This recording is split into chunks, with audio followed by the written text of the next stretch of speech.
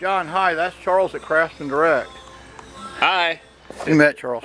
Nice guy. Um, great carpenter. Here, uh, we're looking at a copy of your old plan, a copy of your new plan, and we're grateful. I've got it printed out. It's here, and I'm going to show you what we've done is ripped off what we had.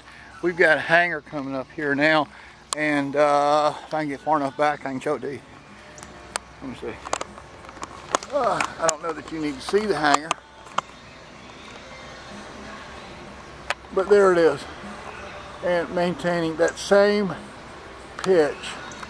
Now, we do have a request from the city inspector on this opposite corner.